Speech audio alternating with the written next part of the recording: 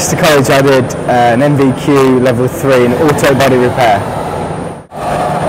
Uh, I learned how to repair accident damaged vehicles from uh, re- replacing new bumpers and wings to more structural panels as well. Put forward for the Body Shop Magazine's Young Panel Technician of the Year award. Uh, I was a finalist in that and then from that I got scouted by UK Skills to try out for the UK Skills squad and then I've been in the squad competing ever since. When I was at college I did two weeks work experience in a body shop. So I thought when I left school I'd give it a try and did an apprenticeship in it. I'd recommend going down the apprenticeship route basically because of without getting into any debt. You know, like going to university, um, it, it can take you a while to pay it off.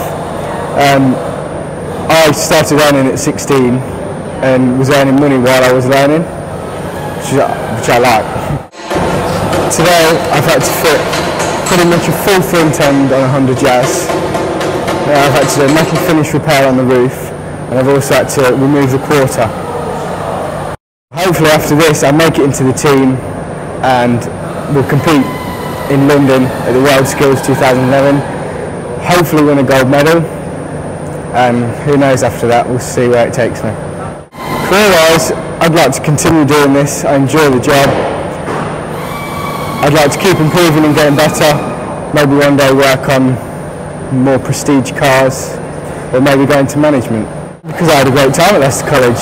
Uh, I really enjoyed it. I met a good bunch of friends there who I still keep in touch with now and they had all the facilities that I needed to complete the course.